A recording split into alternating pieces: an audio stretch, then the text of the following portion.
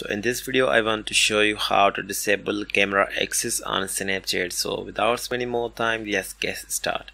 So first you have to launch your app before you want to disable your camera access on Snapchat. So as you can see I can easily access my Snapchat camera. So there's no any option on Snapchat which allows you to directly disable your Snapchat camera. So you have to go back to your phone setting now you can simply tap on the applications. Then you can simply search the Snapchat. Then tap on the Snapchat.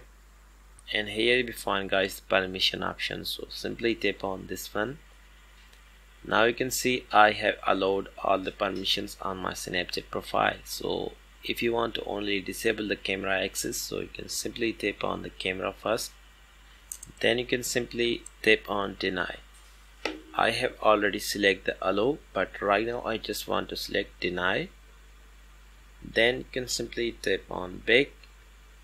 Now you can see I have denied the Snapchat camera option. It means I have disabled my Snapchat camera access. So here I just want to go back to my Snapchat profile and now you can see it asks you the permission to access the Snapchat camera. So if you turn on the permission so Snapchat can easily access your Snapchat on any time without your permission. So I just want to make my security strong. That's why I have disabled my Snapchat camera access.